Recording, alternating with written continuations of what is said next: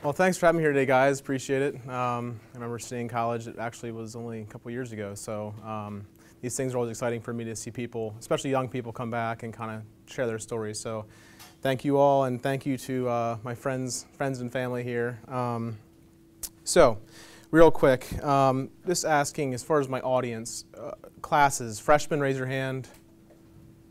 Okay, so pretty much freshmen, sophomores, juniors, seniors. There you go, one smart guy. Um, I asked that because, uh, you know, this is really the kind of thing you should be doing as a senior in college. Um, as a freshman, I know you guys get credit for coming, but definitely as time goes on, make a point to come and, and get to meet local business owners. It's a really healthy thing to do. Um, so, second question, uh, does anyone know where Bass Mechanical is? It's just like three miles away. Does anyone know we're passing it? One, yeah. So if you go down, thanks Tim. If you go down uh, 230 towards the Burger King, Northwest Bank, uh, towards Mount Joy, it's just like three miles down the road. So we're, uh, we're nearby. Um, so with that being said, uh, let's go ahead and get started. So to give you kind of an overview how we're going to run down through this, uh, the first will be the, the PowerPoint, and then um, I'm kind of going to stray from the, the template they gave me and really make probably the second half of this presentation, if not more, more conversational. So it's going to take some effort on your guys' end to kind of ask some questions. Uh, being a young person, relating with you guys, I, I hope you take the opportunity to kind of see what it's like uh, as a young professional. Um, it's really good, very important to start wrapping your head around what that's going to be like. So I encourage you to ask any questions you may have. So for the PowerPoint, uh, we'll go through personal history. I've just broken down in a few, a few different categories. Personal history will be from 89 to 2011, so that's basically from my birth to when I graduated college, first phase of my life. Uh, then I'll move into the history of Bass Mechanical, which was started in 96, and then end that section at when I graduated college. And then I'll kind of wrap the two together and explain my transition from college to the workforce. Uh, I think that's an important thing uh, for you guys to start thinking about what that's going to look like. Um, and then uh, my father passed away in 2014, which is when I, when I obtained this role. So that's going to be the next phase of this, wrapping into really the current process and phase, which would have been just over two and a half years coming now. Um, and then the last thing we'll go through is uh, personal vision, which is really what I'm interested in, where I'm going with the company. So to start, uh, I was born May 30th, 1989. I'm Gemini. I don't know if you have any other Geminis here. Um, all the bad things they say about them are true, certainly. Um, Shelly and Al Baum are my parents. Uh, Al, again, founder of Bass Mechanical, Aldous, Al. Uh, and I have two siblings. Uh, sister, Jade, uh, Jade Baum, she got married, she's now Jade Donovan, and Christian Baum, my brother. Uh, Jade went to Naval Academy, her husband did also. Uh, he, they both went Marine Corps officer afterwards. They live together. Um, very high caliber duo they are. They're actually living in Kuwait right now and he's uh, trained the Kuwaiti military how to fly C-130s. So it's like total badass job. Um, so uh, my brother is a very entrepreneurial person. Um, he has several startup companies in State College. Uh, New Leaf is a sustainability movement in the State College area for Penn State. Uh, also CoSpace, which is like a co co-living space for young young professionals and students at the at Penn State College. Here you can see them. Got mom and pops right there. Uh, Jade and JD, and then my brother with Jade's kids. We got Amelia, she's a cutie, Jackson, and Lincoln. So this is pretty much my family. And then my better half, Miss Rebecca, right down here in the front. she's been a huge support of me over the last, uh, last couple years, so I want to make a point to talk about her a little bit also. So personal history. Uh, played midget football back in the day. That's kind of my inception of sports. Uh, stopped that after my freshman year of college, uh, at which point I started playing volleyball at Hempfield High School. I don't know, any volleyball players here? Yeah, familiar with Hempfield volleyball? Hempfield's a huge volleyball school, um, so it was really kind of the inception of my, my thought process towards teamwork, which is going to become important as far as what I'm doing now at Bass. Played volleyball from freshman through senior year, then graduated 2007. Uh, went to Juniata College. You guys familiar with Juniata College? pretty similar school to Elizabethtown. You guys probably looked at both schools if you came here, unless you're local. So I played volleyball my freshman, sophomore, and junior year there. I actually quit my senior year, um, which I'll get into a little bit, but quit my senior year to start looking for a job and kind of get acclimated with the, the work environment. And I graduated with, and sorry professors in the room, a whopping 256 GPA. So I was not much of a school person. Um, I'm not, not a dummy by any stretch of the imagination, but I'm not the kind of guy to cram book smarts, which uh, there's a reason I say that I'll get to. So, uh, like I said, volleyball is a huge part of my life. Um, it's diehard, diehard volleyball, uh, high school volleyball, club volleyball, uh, college volleyball. Then I coached the girls. Uh, Hempfield, during my period there, I was never the all-star uh, by any stretch of imagination. Actually, I don't even think I started any of the four years. Um, but what it really drove home is a, a success, understanding success and understanding what it's like to be a part of the team, not necessarily the all-star, which I think is an important thing to kind of wrap your head around. So during my four years there, we won states three to four years, and I think we lost in districts the, the fourth year. Um, my sophomore year, I guess, would have been. And then uh, I went to Juniata College. We won national championships my sophomore year. Again, didn't start any of the three years. I probably would have started my, my, my senior year, but decided I was, I was done. And then graduated Juniata College and coached the Hempfield Girls. Uh, we won states two out of three years and got second the third year. So I'm a volleyball guy, more of an athlete than I am a, school guy, which um, maybe that relates to some of you, maybe it doesn't. Uh, but it, I again, I think it's important because it's not, school and academics are certainly important, but it really is about being a holistic, you know, the, the whole picture as far as team player, uh, forward thinking, academics, uh, working hard, whole nine yards. So, moving towards the history of Bass Mechanical. The company was started in 1996. Um, you can see my dad over here a little bit thinner there than he was when he passed. Um, so he came home crying one day. He worked for a local contractor, and uh, he just said, I, I, just can't do this anymore. It's a family-owned business, really wasn't run very properly.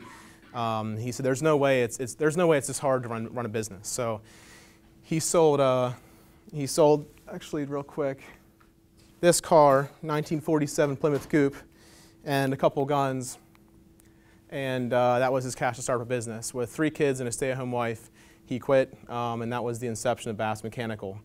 I made a whopping $50 a month uh, for um, not speaking at all when I got home from school because the living room was our office, so I had to just shut up and get paid was kind of the, the ideal.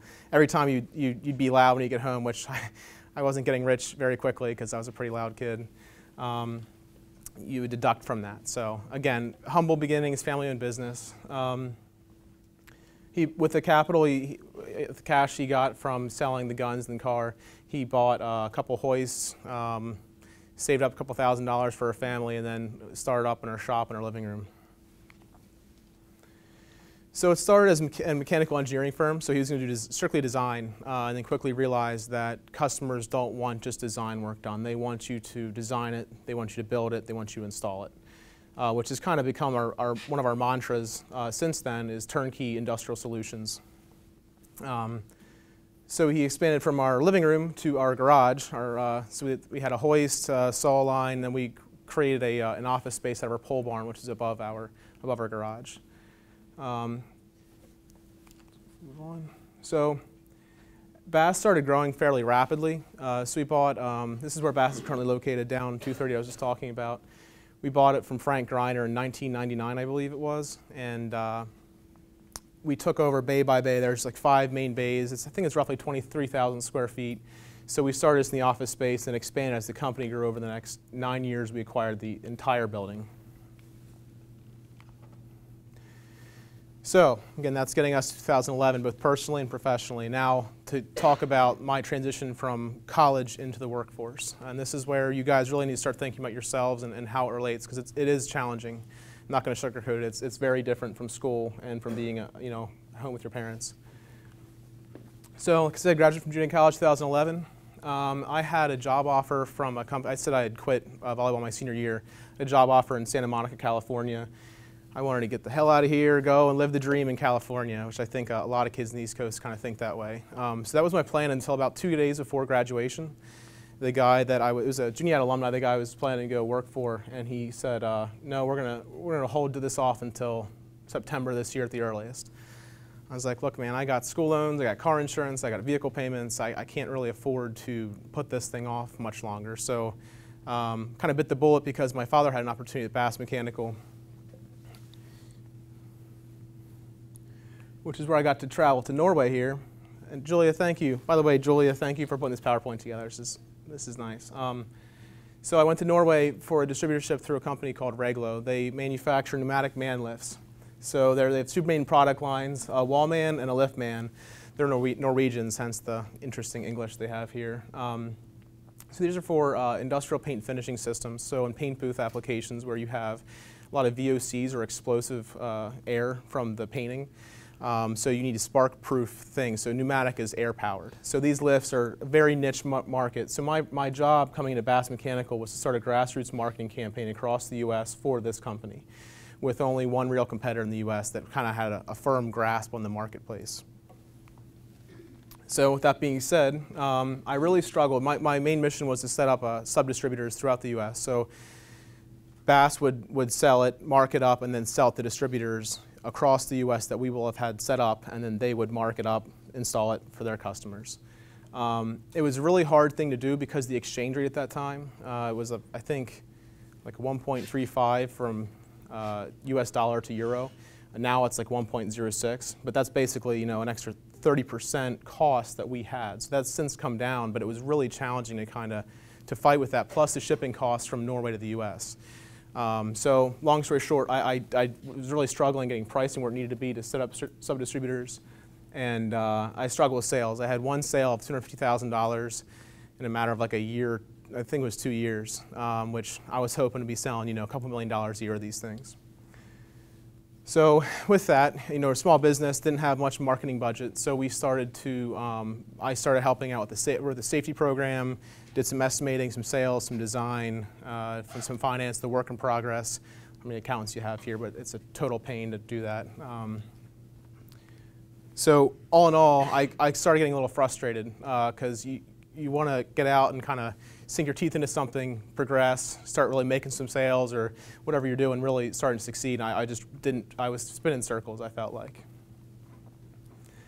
So then in November 2013, this would be two and a half years after I graduated, I was approached by a headhunter for a, a local marketing company in Lancaster. Um, the job would have paid close to $150,000. I was thinking, man, this, this is an incredible opportunity. And I really started to see my potential. I, I started to realize, man, I, I can do something with this. So this would have been, again, this is, just to put it in, in uh, context, six or seven months before my dad passed away. So um, I said, you know what, I'm getting this job. And I, I had the conversation with my dad. He was kind of sorry to see the situation transpiring, but I said, uh, I'm, I'm going for this job no matter what, I'm going to get it. And if I don't, which I won't, not get it, but if I don't, I'm going to make a change in my life because I'm, I'm not happy right now. I'm not engaged with what I'm doing. I need to figure something out to really drive this thing forward. So, um, little arrow right here, I did not get the job, uh, and I'm still at Bass Mechanical, obviously. So what I did was I, I, started really embracing my position at Bass Mechanical. And this is a message I really want you guys to listen to. Um, to really become engaged in something you're doing is something that I really struggled with in college because, again, I was not the kind of person to sit down and just cr crush out books and, and, and homework and, and, study. I just did not enjoy it at all. Um, but when you get in the professional world, it's it's totally different world. You know, it, it's networking, it's uh, growing yourself, you know, in, in, in, the evenings. It's getting up at 4 a.m. to get in at 5 just to get in there early. It's all kinds of things that you don't really think about until you're in that situation. So, so those are things I was starting to do and saying, you know what, I'm going to start making a change.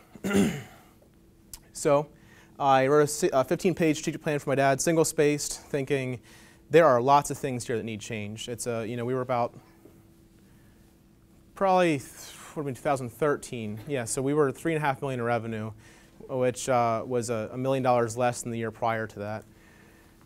So because of that, we ended up losing. Well, I'll get there. Wrote a 15-page strategic plan for my dad.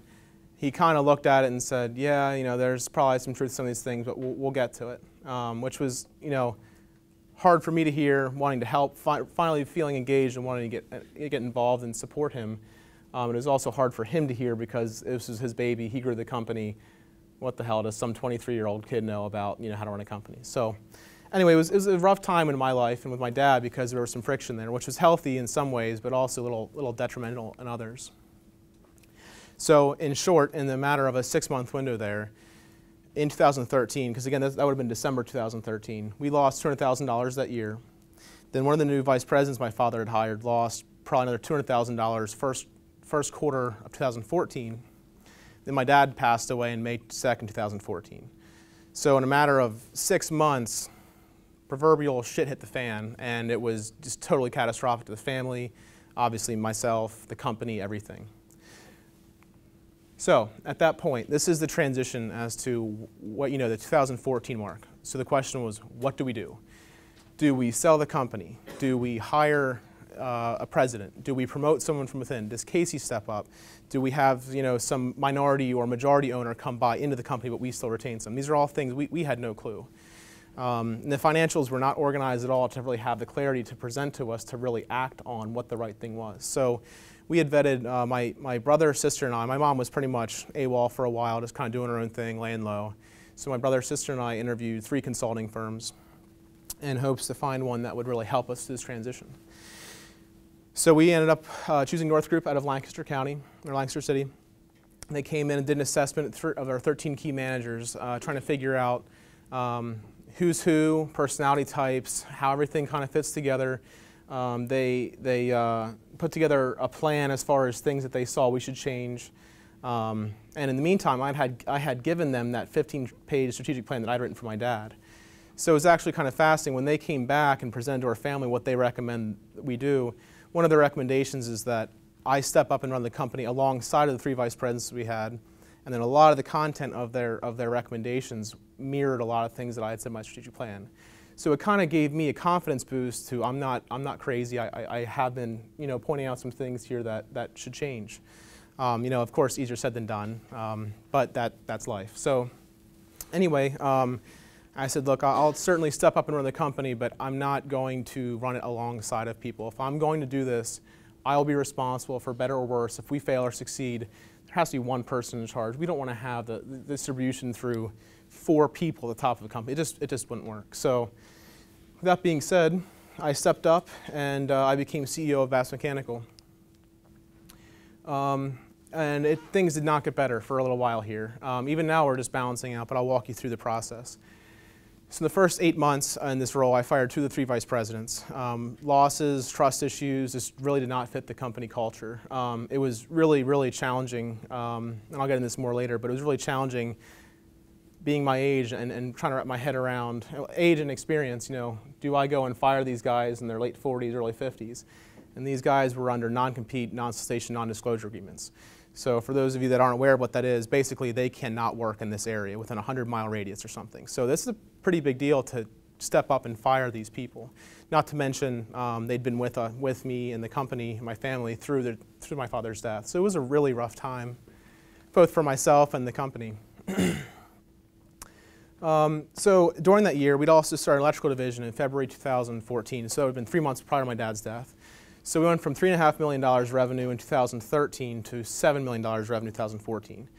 Um, I don't know how many of you guys have had jobs in companies that are growing, uh, but a, a, company that doubles in size in one year is a really, really dangerous thing to see. Um, adding on a, a bolt-on division like that is, is one way to do it rapidly, but everything was full pistons firing. It was, it was a lot to handle. As I like to say, it was drinking from the fire hose. Um, also, so uh, we, we've had probably, the 250% turnover is probably, that's, that's a guess, I don't know. Um, we have an entirely new team. We have two of the same, excluding my mother and I. I'm in the process of buying my mother out, so she's still involved with like accounts payable, accounts receivable. But aside from the two of us, there's only two employees that are still at Bass Mechanical since January 2014. We have over 40 employees. So it's been, you know, a swift axe per se, but it's been a very rapid turnover in employees trying to get the culture and the people on board to really move the company forward.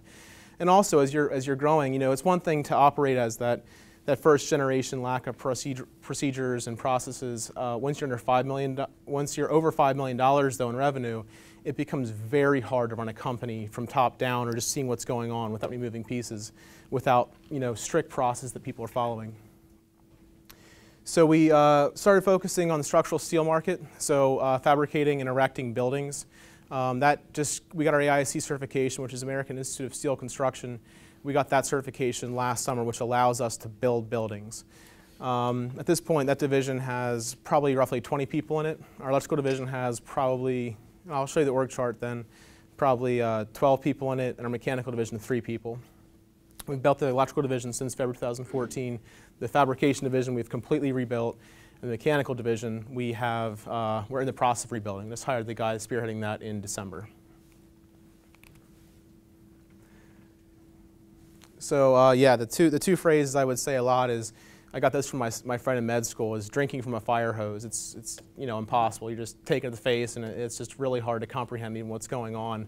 But you're trying your best to, to make it happen. And then baptism by fire, because it was kind of, here you go, kiddo. Good luck. Good luck in this situation. Um, but it's the way you learn. So I, I embraced the best I possibly could and, and enjoyed it along the way.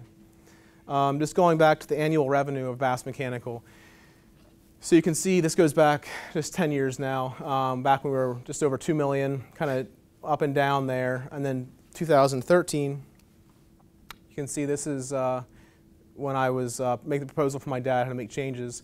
So we, yeah, we doubled in size that next year. And then last year we were actually 8.5 million revenue, approximately. Um, or sorry, 2015, 8.5 million revenue. And then 2016, we're thinking about be about 6.4 million dollars in revenue. Um, and that's because we've been rebuilding the, the, mechanical division. So this year we're projecting about $7.5 million revenue. So this is my father's organizational chart, um, and he had given it to me kind of on a piece of paper for me to throw up into Excel. Um, so this would have been 2013, um, and this is the structure of it now today. So these are the kinds of things that I really believe in as far as clean organization to allow people, you know, total clarity as to who they report to and why they report to them and what their job duties are. So things like job descriptions, organizational charts, uh, routine meetings, these are all things that were not in place that we've been putting in place slowly but surely over the last couple years. So, uh, anyone ever here ever been to Costa Rica? Uh, nice, one. It's awesome. If you ever go, you know, have, have a, you'll have a blast. Um, so, my personal vision, and I'll, I'll tell you a quick story here uh, we're working with a company, a very, a very large, a four and a half billion dollar company on their uh, paint, paint line. And um, we're trying to target a national program. They have 25 plants across the U.S., and I'm, I'm really trying my best to be there for them and support them. Several consultants working for us to work with them. And I, uh, I sent them an email the one time, and it was just kind of like a, a, little sales pitch, but it, it really stuck when I wrote it because I was typing it and listening to myself talk, and I sent it, and it really, it really stuck. So it's kind of become my mantra here with Bass Mechanical. So um, my personal mission at Bass Mechanical is to grow the business through sustainable relationships, both internally and externally. This, will, this results in employees that are empowered, vendors that are engaged, and customers that feel our business an extension of their own. By doing this, we ultimately drive innovation and profitability for all companies involved as a team. Plus, a hell of a lot more fun this way. So basically, build the company through relationships. So your employees have open conversations. You know, you don't have to be buddy buddy, but you need to be real with each other. You need to have those conversations routinely also, so there's not, nothing festering behind the scenes. With your vendors, you know, have open dialogue as far as where your numbers are at, where your margins at, what you need from them to help you, and vice versa. Again, it's a teammate. It's not it's not customer customer. No, it's it's a partnership. Same thing with your customers you know, target them, be open with them, support them, and allow them to support you. And if, if they're not, you know, classic saying, fire your customer. Don't do work with those companies. So it's kind of been a, matter, uh, really building a team internally has been the last couple years that allows us to operate with a kind of an open book inside the company and outside the company to allow us to grow sustainably. So, um, Moving on to the just kind of general uh, open forum. Um, there's a, a, few things I'd kind of like to go through, uh, and then I, please, at this point, anyone has questions or thoughts, just raise your hand and uh, we'll, we'll, go to you. Um, one thing that I do want to say first, though, is you know the, the classic question: What do you want to be when you grow up? Um, I've been in this role for two and a half years, and I was even thinking that question here until the last couple months. I had an epiphany uh, mid, probably mid-year last year that it's really not about what you want to be. You know, it's not about where you want to live. It's not about any of that. It's really about who you want to be. Um, because that you have a choice and to kind of build into that person who you want to be. So if you have mentors, which I strongly recommend you find mentors, um, pick all those things you like, managers, professors, friends, find those things you like out of those people and try to surround yourself with more people like that and more situations like that that allow you to grow into that person. The rest will come. The profession, the location, what you're doing, why you're doing it, that'll come. Really focus on personal development and everything else will just be second nature. It's, it's the best piece of advice I can give you. I just want to make a point to say that. Um, from there, I have a few more things, but uh, I'd like to open it up for any questions or comments. Not all at once now, guys. Um, said you really started to lack uh, motivation after you struggled making sales, uh, and then the job offer really kind of boosted Mhm. What kept your motivation up, especially after not getting the job and not getting that uh, strategic plan through to your father? What kind of kept you motivated to keep going and pursuing that? Yeah, certainly. It's a good question. This was a pivotal moment in my life. Um, so, you know, I said about the epiphany I had last year with who I am. It seems like a small comment, but it's, it's really significant. And that was a time in my life where it was really, it kind of hits you in the face like a sack of bricks. And I can't really describe it. You must have to have a moment like that in your life where it just really wakes you up to, wow, I've been looking at this wrong, like all of it. And it really starts to kind of make you open your eyes as to, um, what's actually going on. And again, it's really hard to describe, uh, but that, that situation as a whole set me on fire. I just, I just became, I ignited and I was just ready to charge forward. Uh, and thank God that happened six months, you know, before, before this whole situation, or there is no way in hell I've been prepared to take this on. So yeah, good question. Yeah. Um, quick question, kind of like a two-part, but what was going through your head uh, in July 2014 when you really like assumed like that big leadership position, and uh, how do you feel that what your mindset was then? How do you feel that propelled you towards success you? You know, I'll, I'll be honest and preface it by saying the amount of trauma to go through that whole situation from your father passing to just drinking from the fire hose, I, I don't remember a whole lot uh, in general, um, especially around like the few months before and after his passing. Um, that being said, you know, you don't, there's a classic saying in business, you don't know what you don't know. I had no freaking clue what I was getting myself into. So uh, it's kind of was like, oh yeah, things are going great. We're doubling in size. It's all, you know, happy days. And uh, it really wasn't. it really wasn't like that. So, um, and I'm actually happy I didn't know that because I would have been probably more pessimistic and even realistic than optimistic, where I was looking, you know, kind of the glimmer in my eye to move forward and, and make things happen. Um, so that was a really fortunate thing that I was oblivious to what was actually going on financially in the company. Um, and then, I'm sorry, is the second part of your question? Uh, how do you feel that, like, what what happened because of that? How do you feel that propelled you to success that you have now? Uh, experience. Um, you know, that goes back to the baptism by fire comment. Um, to go through those hardships I was just talking about, it uh, character building doesn't really even describe it. I mean, it's just excruciating. It, it's like the worst pain you can go through, um, especially when you fail. But failure is the best teacher. So um, failing for you know year and a half straight probably was the, the best thing that's propelled me and, and my mindset as well to where I'm at today. And, and keeping an open mind to learning, I think, is the biggest thing as well. Yes. Um, so when your father passed, it probably would have been a lot simpler just to sell the company. Um, it would have been an easier path. What prevented you and your family from doing that? That's what my mom wanted. My mom was just purge the assets and screw this kind of thing. Um, two, two main things I would say. Uh, first of all, I was willing to step up, so that was a big step in the right direction. Had I not been, I don't know. I don't know. Well, it's hard to it's hard to say what would have happened, but I don't know how things would have worked out for our company because of the cost involved with hiring a, an, an actual CEO or president from outside. I mean, especially under those circumstances, it may have been you know, between consultants and a, pre- a new president, may have been a quarter million dollars, we, we, which we did not have at all. And again, sorry, your, the second part of your question. That was just like what prevented you from selling it? Oh, um, yeah. So uh, on top of that, I would say that for me, um, I mean, what a what a hell of an opportunity for a young guy to experience. Um, and, and again, little little naive and oblivious maybe, but I had no clue what I was in for. Had I, had I known the struggles that were ahead, I, I may not have. Um, but I was looking at it as, man, this is an incredible experience, and regardless if I succeed or fail, you know, what a cool opportunity for a 25-year-old, frankly, a kid to really go through and learn from. Yeah. Uh, you said that you had to let go of people that had been with the company for years. Was there any backlashes of letting go experienced people that know the system and know the company?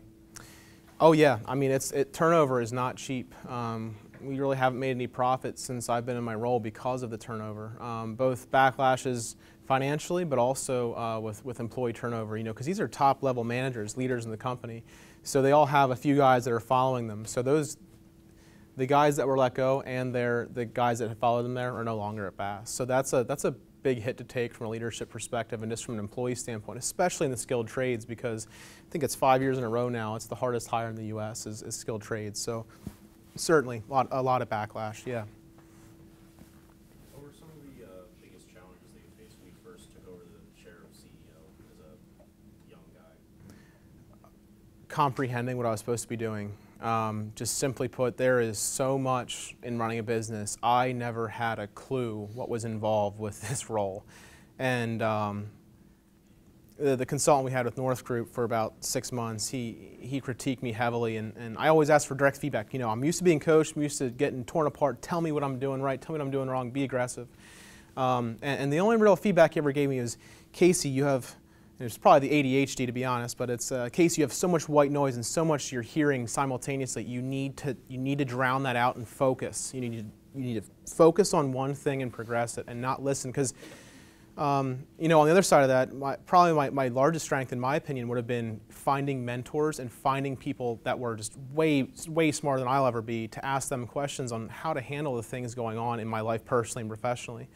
So you have all these high caliber people willing to help and support, um, but then to sort through all that is just, uh, uh, it's, it's maddening, you know. Um, and Rebecca can attest to this. I, many sleepless nights trying to figure out what the hell I was going to do.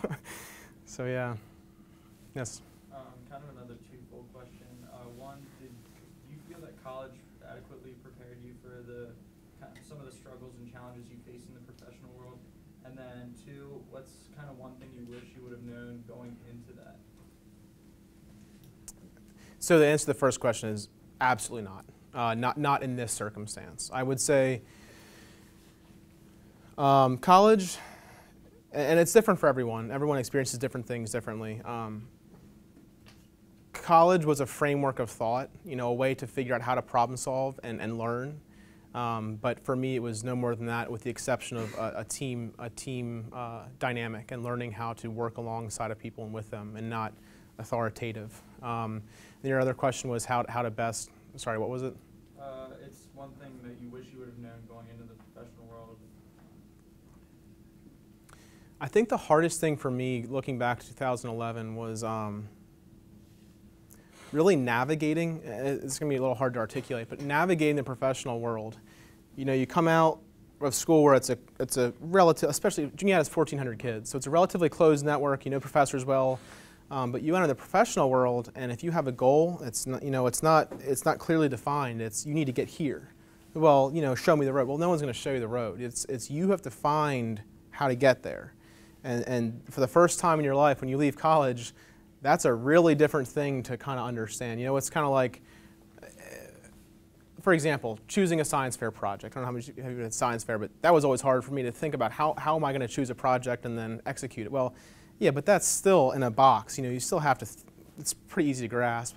But then you go into a super abstract thing where your goal is just to produce sales and, and target distributors across the U.S. I mean, there's no one really guiding you. My father was like, "Oh yeah, just just do this, do that." So, I don't know, man. We don't have we don't have hundreds of thousands of dollars to do those things. It, it takes you know. So really, just learning how to call people up, email people, just be aggressive, get your name out there, network, uh, and, and and problem solve in a way that's very abstract. That that was a huge learning curve for me, me personally.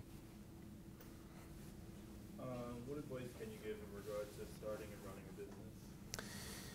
Whew, well, uh, one, one thing should be said. Uh, starting a company and taking on a second generation or being hired for a, a management role, two very different things. I'll, I'll tell you, hats off to entrepreneurs. I don't think I could do what my father did. It's a whole different way of thinking, um, which, you know, in, in how he responded to my strategic plan, it's kind of shown. It's two different mindsets altogether. I mean, to just kind of, it, it, so it takes a pair to do that that I don't think I would have to, to string everything out there and put it out there and make it happen. And then your, your second question? Uh, and uh, any advice as to uh, running a business? Uh, running a business, that's a, that's a general way to look at it, I guess. But ma- management as a whole, um, be very open and, and communicate as much as you possibly can. And if you can't do that in the company you're at, whether you're the manager or you're the top dog or you're down on the shop floor, you're probably at the wrong company. At least for me, you know, I, I need open line of communication, and without that, it, it's uh, it's really hard to succeed. As a uh, young CEO, CEO, did you run into any problems with other companies respecting you and the ideas you had? And if you did, how did you handle the situation? Oh, absolutely, yeah. Uh, especially in construction, um, it's very ego-driven, intense industry. Low margins, uh, old guys club kind of thing. Um, it goes back to the, the classic saying, "Fire your customers." I, we don't. If, if people are thinking that way towards a young person, that's on them. That's not on me. I can't change my age. You know, I, I, I try my best to be innovative and, and build relationships. And a lot of companies didn't respect that, and that's okay. But it's, it's almost like a, a shortcut to seeing if a company's right to work with or not. And if they're not going to respect me because of my age, I mean, that, that's you can think of five other things like that. That if that was the, if that was disrespectful simply because of who you are, that's not someone you want to work with. So just getting those people, that includes actually, on a, on a side note, that includes friends and everything. You know, when I went through this transition, all those people that were negative, I just cut them out of my life. And, and friends that were bringing me down, screw that. I, you don't have time for it. In this position, you don't have time for naysayers. You don't have time for people bringing you down. It's just about forward-thinking progress, and no one, no one can stop that. And if they do, just, just stop. Just stop talking to them, like an ex, like an ex-girlfriend or something. Yes. Thank My experiences with family companies is that when the founder dies, that the company usually ceases to operate or sells. So congratulations for still being in business. Well, thank you. But looking back at your revenue chart, um, you had two significant revenue drops. How did you manage that? I mean, that must have been very painful. Oh yeah. Um, Luckily, they weren't back to back, but I mean, they were a couple years apart, but I mean, that's a pretty dramatic shift. How did you do it? Yeah, so in 2015, like I said, we were eight and a half million. Just to, real quick, I'll go back to that. So in 2015, all the way up here, and now 2016, just last year, we were here. We scaled up to be a $10 million business. Hired CFO, hired COO, uh, chief executive, or I'm CEO, chief executive officer. There's chief finance, chief financial officer, then chief operating officer. So I hired guys that were again way beyond myself to help run the business. That costs a lot of money. Those are not those are not you know cheap people to have in the business. So uh, it's a it's a good question because we scaled up for foundation admin, certifications, licenses, people internally, equipment, tools, cranes, everything, and then we took a two million dollar hit in revenue because of scaling back the mechanical division. Um, being very conscientious of spending. Uh, when I first entered this role, it was especially when you're doubling in size, there's cash flow to, to put places that you need to make improvements in the building. Um, last year, we really didn't do a whole lot of that. So just being money conscious, I would say, from a cash flow standpoint, is probably the, the biggest thing. Yes. Uh, just from hearing you, I can assume that the, uh, your fifteen-page strategic plan was pretty progressive from your father's, uh, sort of bold-thinking ideas. Why do you feel he faulted you so much on that plan and like implementing it? I think there was a lot of emotional bias on his end. Uh, first of all, father-son relationship from a psychology standpoint is a really challenging thing. Um, I don't know if you guys experienced that or not, but it, it's common. You know, um, the father having high expectations for the son, um, and that's a hard thing to experience as the son, obviously. And I think a lot of us go through that. Um, so to have the son, and I went through a rapid period of evolution where I was really changing my mind quickly, intentionally to learn to adapt. So all of a sudden he was like confused as to why to, to why all these things were happening, to why I was trying to change this and that. He didn't really appreciate or comprehend the changes that I was going through personally, I think. So when he got that, it was taken as a, a backhanded, you know, thing to him where you're attacking what I've been doing in my business and what I've built. You know, I built all this from ground up with no money. How dare you kind of come to me and, and tell me how to do this differently? Really heavily emotionally based. But then also, he, uh, and this is common from a first generation standpoint with businesses. Um, there's not many processes in place. It's kind of everyone's on their. Own. Actually, I remember a conversation with my dad. He prided himself in running the company in a way that everyone was in their own island. Everyone got to operate in their own island. It's like, yeah, I guess that's kind of a good thing, but not really because everyone's going this direction, that direction. People aren't filling out that paperwork. There's no process to get this done, and um, he just didn't like operating that way. That's actually why one of the reasons he quit to start his own thing is, you know, I don't need all that. So it's really different mindset altogether. Yeah. And then what about making some of your uh, big new hires, such as your CFO and COO? Uh, what would you say some of the top skills were that you look for in those people? Uh, leadership, communication, leadership, uh, then experience. Um, both these guys own their own companies, uh, run companies that are $20 million or more, um, but then really if they fit in with the team or not. And that goes from the guy at the top of the food chain to the bottom. Um, you must find employees that fit company culture. And, and on that note, as you guys look for jobs or internships, go somewhere where you fit in and, and, and don't, don't question it. It's better to not take a job than go somewhere that you're going to hate it. it's just not worth it. Here's one. No, sorry. Um, so you said you didn't really feel prepared leaving college. Um, so what do you wish you would have done in college that would have helped you prepare? Or what is some advice that you would give to students in college now to, so they can be more prepared for the business world? Yeah, it's a really good question, and um, I'll start by saying, do you guys know where Juniata is? Yes, no, maybe so. It's in the middle of nowhere. I mean, it's like in Huntingdon, Pennsylvania. Um, there is no real foundation of industry or business or networking, and then you, you have to drive 45 minutes or more to get to Altoona or State College, which aren't exactly cities either. And then if you do go to those cities, you're competing with other interns. So to get to that point, it's a nice segue. Um, get internships, network. I mean, you, you don't even have to have an internship. Just learn how to communicate with, with business owners, with other professionals. You guys are in Lancaster County right now. I mean, this area is awesome. Back there, the guy in the center of the room, Mike Mitchell. Um, Mike is the head of the High Center here. Uh, he's an incredible resource for networking. Not, not to send you all his way, but just in general, this, this building actually has the High Center. There's, Mike, how many companies are in the High Center now? 94. So there's 94 local businesses ranging from one to uh, probably 150 million dollars a year that, that are here every week, probably at peer groups, at events. Um, you guys have direct access to local entrepreneurs, and, and aside from that, you've got all kinds of industry in Lancaster County and Harrisburg. Um, get engaged with the community. Like really start to network, meet people, find your passion. Um, I think that's probably my biggest downfall is college. In college, for me, volleyball was so consuming. Um, which again, there's a lot of benefits to being on a, a team. But you kind of don't think about things outside of what you're doing because you have class, you have eating, and you have sports. so I don't know how many, how many athletes do we have here.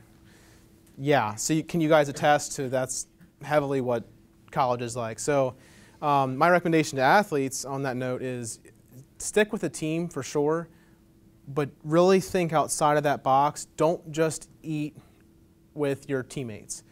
Don't just hang out with your teammates. Don't just do whatever with your teammates. You know, get outside of that group, meet other people, understand how they think, how they think differently than you. Get outside of the school altogether and understand how they think. That's the best advice I can give. Yeah. As a new company or new policy starting in 2014, how did you go after your competitors? Like, how did you formulate a plan to take on the companies that are bigger than you, try to take their um, business?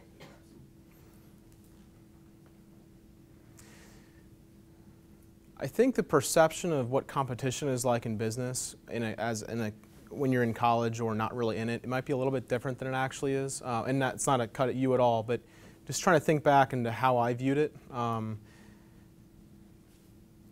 it's kind of like we already had an established customer base, so it's kind of business business as usual. From a from a large to small size company, you mean larger companies have their downfalls as well. So the competition there. Um, it's a hard question to answer, but I, I, can say the number one thing that I go back to this, and on the other side of uh, the camera is Tim Lapp back there. Tim is our direct competitor. In fact, the guy that started electrical division came from his company. So, um, you know, we're, we're, we're hardcore competitors, but we're friends. And uh, I would say that my approach personally to business is to, to really partner with those companies, um, which is actually an interesting topic. Uh, I had mentioned earlier that the, for five years in a row now, I think it's the fifth year, uh, skilled trades is the hardest hire in the, in the whole country. Um, so there's a huge deficit in tradesmen, welders, plumbers, electricians, etc. Um, my real strategy um, in, in, with this is there are not currently enough people out there to do the work that exists. And the economy is not going to slow down. Whether it dips or not, eventually it'll, it'll pick up. So as we have tradesmen declining and less and less people our age are going into the trades, um, there's a huge, huge need for that. So the strategy of partnering with your competition is one that I'm hoping that by doing that, you can still take care of your customers on a gentleman's agreement or even a contr contractual agreement to not steal the customer, to not steal their manpower. Um, does that make sense? It's, it's a different strategy, a different approach to the marketplace as a whole, especially in construction. It's typically very cutthroat, but I, I, am confident it will be successful. Yeah. Do you believe the change from your father's form of leadership to your own form of leadership, do you think that was a necessary change to continue building your company? Absolutely. Yeah, I think uh, it was a lot of um, individualized success. You know, people looking out for themselves not others.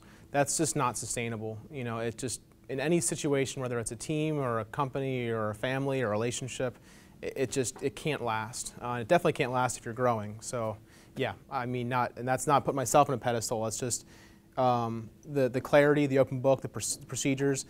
Uh, the open communication, it's absolutely necessary with a growing company and then a larger company, in my, in my opinion. Yeah. What were some of the things that you saw working within the business that made you draft the strategic plan, what that plan might have fixed in your company? I'm trying to think back as what it was. There, there was no routine meetings. We had a production meeting once a week that um, the conversation kind of went like this, and it would last an extra couple hours, and then it wasn't really organized. So a meeting structure.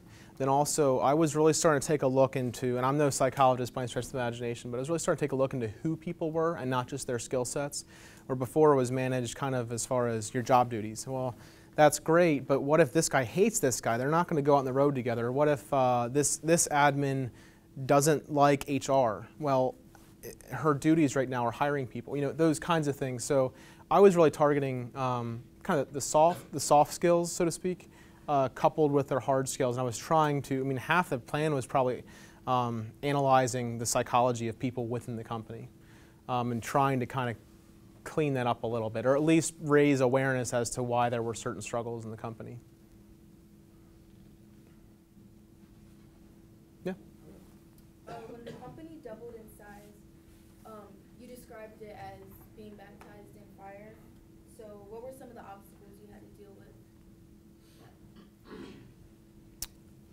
So um, a change order, uh, for those of you who don't know, a change order is something where you have a scope of work. So you're, you go into a company to do this scope of work. Say um, a company is going to come and install all these tables in this room, right? So someone can come and make an estimate and bid to that and, and come do it. Well, say all of a sudden these tables are made out of gold. Well, what if you didn't take that into account? Well, that's you submit a change order. So in our rapid growth, there was probably $150,000 of change orders that we didn't send out because there was just missed paperwork, people being fired, people quitting, um, just no system systematized processing of data like that. So um, just for that's one example that, that and that goes right to your bottom line. That's a significant cost in, incurred in doing that. And there's there's a whole list of things involved with growing too fast as well. There's a I, forget his name. Um, there's a famous uh, Japanese business coach, and he uh, his statement is uh, or his mindset is grow a company like you grow a tree. You know, tight tight rings make a stronger tree. Where if you grow a tree too quickly, storm comes and blows it over. Where um, if, you can, if you can consistently target 2 to 5% growth per year, you will have a very sound very strong company. I, I like that advice a lot. Yeah. Um, if you took that job, the hundred fifty thousand dollar job previously, would you do you think you would have stepped up as CEO for Bass Mechanical? I wouldn't have been there, so no. I, I they would have, no, definitely not. They would have hired someone else, or I don't know what would have happened. The whole thing from how my job got pushed back two days before graduation to that situation to my maturing uh, six months prior. The whole thing is like really, really interesting how it all panned out. Yeah. Yes, sir. Hey, as a former business owner, I have a real important question for you. Oh. What's your exit strategy? Already working on it, actually. um, In all seriousness, back to, and I'll, I'll point to Mike Mitchell on this one. He, uh, it's, it's number one conversation in, uh, especially family businesses, is succession planning. And um, so we're still going through building our team right now. I just hired a, a man in his early thir- mid mid 30s, um, high caliber dude to run the mechanical division. And uh, frankly, it's been my succession plan is to get people in house that if I disappear, they can they can do my job, and also to step out of my role. So right now, like I'm not involved with pretty much any of the day-to-day operations. I would say um, I go there to have a presence in the company, to help with sales, to help problem solve, to have meetings. But really, I could not go to the office, and there would obviously be some impact. But um, and that was something I learned firsthand through my dad. Is when the guy that's running the show passes away, and all the cards are scattered across the room, it is hell to pick all those cards back up and, and then sort through them.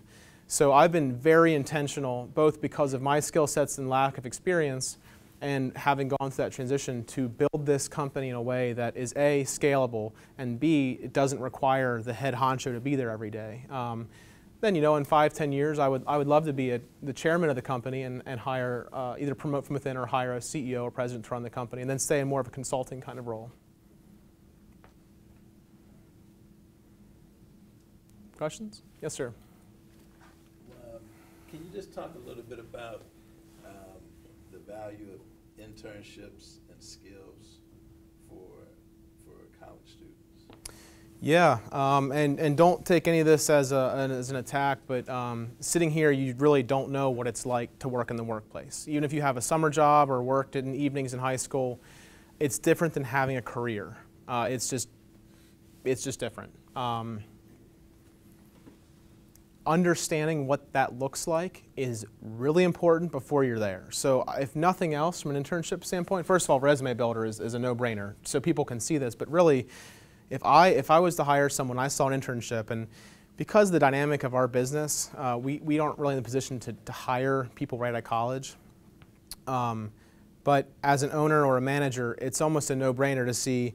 Okay, well, you worked at Wendy's, you maybe served here, you bartended here, probably not bartending in high school, but um, to have active professional experience is like totally sought after because you, as an owner or a manager, again, you see that they know how to work. They know how to work in the workplace and not just go to school. Because again, they're two polar opposite things, and it's great to come to college. It's definitely recommend coming to college, but it's only one piece of the pie. And frankly, uh, from the holistic standpoint, it's a very small piece of the pie. So it's, it's an opportunity while you're in college to build upon that, and I highly recommend doing that while you have the opportunity. And there are so many companies in this area, there's no excuse not to get an internship.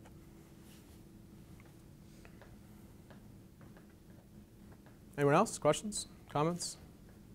Mr. Lapp. You brought up about networking and how that's key to these, uh, young people getting, it. what kind of, uh, networking opportunities do you see? I mean, I know there's LinkedIn out there, virtual networking, but where do you see the networking opportunities? Uh, specifically geared towards college students.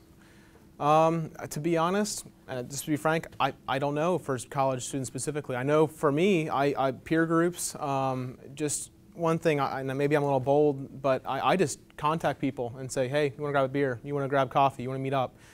That's how we started talking. I think. I think you did that with me actually. Um, yeah. Um, I'm not in the young professional network like you, over forty. There you go. And feeling it, right? Um, but yeah, I would say it, uh, it's aside from like a, a an outlet for that. What I would say, because I, I don't know what to recommend, I'm, I'm sure people here do. I would say it's more of a mentality as far as well. First of all, I mean, you guys are all welcome. I'm gonna be careful what I say here. You're all welcome to call me. You're, I mean, I have business cards. You're welcome to shoot me an email and just ask questions. I'm here for your help. I mean, I know what it's like to be in college. It's not, it's not easy to start wrapping your head around what the hell you're going to do with the rest of your life. So if you ever want to, if you ever want to grab, okay, you're all freshmen. If you ever want to grab a coffee, uh, I have to be careful there, get myself in trouble. Uh, you know, I'm literally three, three, three miles down the road. Um, you know, you're welcome to swing down to Bass Mechanical. If you just Google it, it's real close. Come down. Um, I'd be happy to speak with any of you. Um, but then really, it's just still a matter of uh, being aggressive and, and, and finding people to talk to. Uh, and it's not just myself, it's other people in this room. Um, people are happy to help.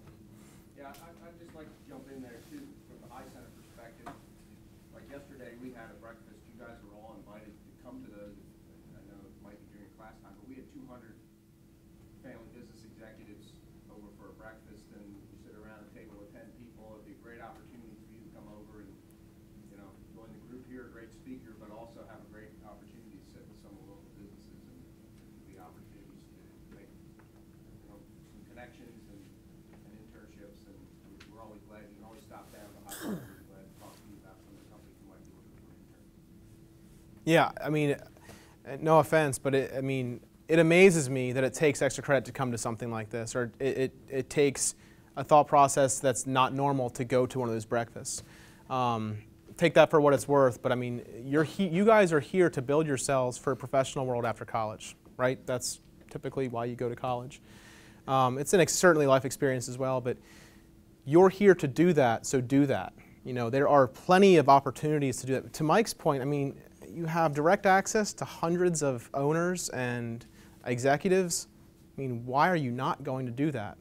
You- have to really think about that. Um, you got, you know, most of you three years, some of you two years, one of you, unless you've already a job, a couple months. Um, but think about that now, because it will, it will shape the next few years of your life. Pat?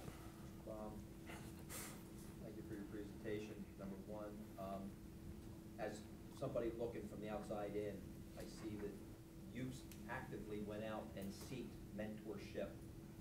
That's a piece of it. But what you're doing here today is you're giving back. Um, As, as a group here that, um, look for those opportunities to mentor as well. As Casey's done here today.